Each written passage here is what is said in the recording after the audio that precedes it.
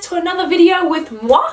Today we're going to go through how to make your own revitalizing dry ends and damaged hair serum. So it's supposed to help with like, you know, when you get split ends and dry ends and hair becomes a bit damaged. Um, it's supposed to help like heal that so it's supposed to look all nice and soft at the end and it I honestly I love it. So the reason why I went looking for a hair serum to help with dry ends and damaged hair was when I came back from Greece last year uh, I had uh, like the length of hair that I'd always wanted. So for me I find growing my hair is a very very slow process. It takes me like months like years takes me a long time just to like grow it like that much.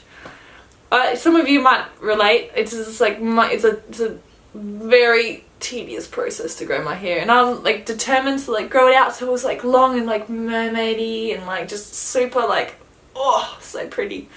Anyway, so it took me a long time, and by the time I got back from Greece, it was finally, finally, finally at a length that I absolutely loved. I remember my when I came off the plane, my friends were like, oh my gosh, your hair is so long. And I'm like, oh, thanks for noticing. So I was at a fantastic length. The only thing was that the ends had all become like split and damaged. So it looks like it was like, oh, lovely. And then at the bottom. So it was about here.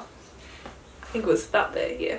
And it was lovely and long, but just it wasn't like not like healthy looking hair like hair. It was healthy but it wasn't you know what I mean? When it's like at the ends you can tell it just needs a bit of a cut to cut all those dead ends off. So I got into a length and I hadn't cut it I think for two years to, to get it. That's how long it took for me to grow out. Two years just no cutting. I was like I'm determined. I know I've heard that if you do trim it often it's supposed to help it grow longer and faster but I was like I'm not gonna mess with this.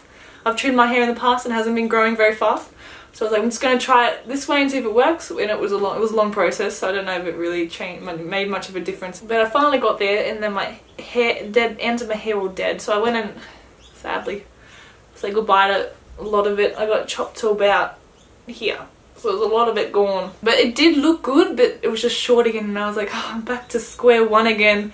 I have to grow it all out again just to get to the same spot. So like this time I'm not messing around. I know what to do. So this time I went looking for something that could keep it looking really healthy as I grew it out. I'm also going to trim it as well just to make sure that it's still nice and healthy, won't get dead again. So I looked for some serum to help with the ends and like to make it look a little bit healthier, revitalize it a bit, bring it back to life. That was sort of what I was looking for anyway. And I did, I came, I came across a recipe which I absolutely just love. It is so good. So it's really, really, really easy to make. Like probably the most easiest thing you'll ever make in your entire life. It is so simple. Like you just need a jar, essential oils, pop them in, shake it and you're done. It's so easy. I love it so much. And I hope you guys love it just as much as I do. Please um, comment below any of your hair, hair stories of you trying to growing it, trying to grow it out, like the stories behind that and what you've come across. Have you found any awesome hair serums as well to help in growing your hair? Would love to hear them. So just comment that below as well. I would love to know. Alrighty, so we're going to get straight into the tutorial. So what you'll need is 6 drops of lavender essential oil, 6 drops of rosemary essential oil, 4 drops of sandalwood essential oil, 1 tablespoon of jojoba oil, 1 tablespoon of argan oil, and then for the equipment you're going to need is just 1 ounce bottle with a dropper. So using a funnel, pour in the lavender, rosemary, sandalwood, jojoba and argan oil into the glass bottle with the dropper top. Then place the lid back on and gently shake to blend the oils together. To apply it, simply put a couple of drops onto your palm and use your fingertips to smooth the oil from the middle to the ends of dry or wet hair. You can also use the oil to give yourself a weekly scalp massage. Simply rub a few drops between your fingers and massage into the roots of your hair. Leave on overnight if you have dry hair. And ta-da! I hope it helps your hair as much as it has helped mine.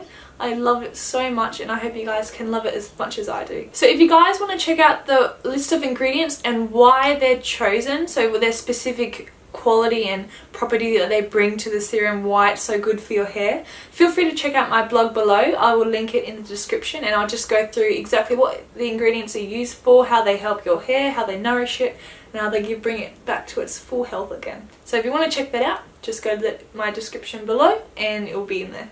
Again, please share in the comments below any stories you may have of dry hair, how you've helped to bring it back to life, revitalize it, bring help rehydrate it again, any recipes that you use or natural tips. Otherwise, if you did like this video, please give it a thumbs up. And if you do want to see more of my videos, come join our fam. We will welcome you.